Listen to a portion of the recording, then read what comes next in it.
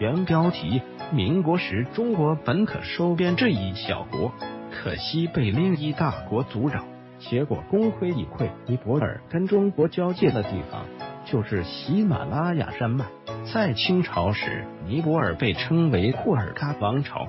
当时的库尔喀十分好战，打算向四方入侵。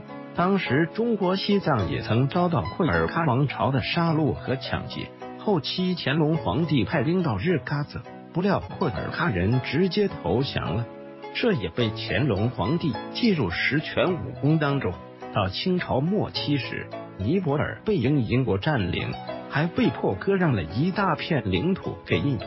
当时印度也被英国控制了，相当于是割给英国罢了。这时候，尼泊尔突然想起中国的好处。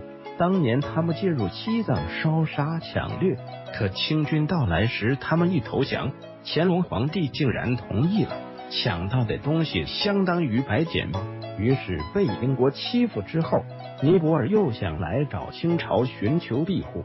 不过这时的清朝已经到了末期，没有乾隆时代那么强大了。但至少说明尼泊尔对中国还是心存好感的。后来到民国时期。袁世凯作为真正的掌权者，为了实现自己的抱负，于是袁世凯就邀请尼泊尔并入中国版图。按照袁世凯的计划，他打算来个五族共和计划，就是把汉族、满族、蒙古族、回族、藏族团结在一起。因为藏族是跟尼泊尔接壤的，所以袁世凯打算收编了尼泊尔。当时尼泊尔也是想加入中国，至少能抱上一个大腿。这本是一桩两情相悦的事，可英国却从中作梗，对尼泊尔加强了控制。结果尼泊尔想加入中国的愿望落空了，彻底成为英国的傀儡。民国时期的英国很强大，作为八国联军中的一员，应该之前就在中国这边捞了不少好处。他们也清楚中国当时的实力，而且庚子赔款都还没有赔清呢，所以英国才敢趾高气扬。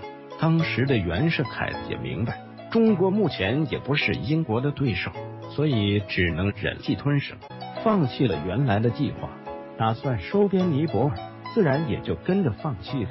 如果呢初不是英国阻扰，按理说尼泊尔如今的领土都应该是中国。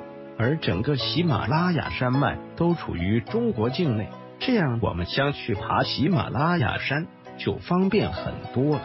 可惜历史没有加入，发生了就发生，这能说有点遗憾。返回搜狐，查看更多责任编辑。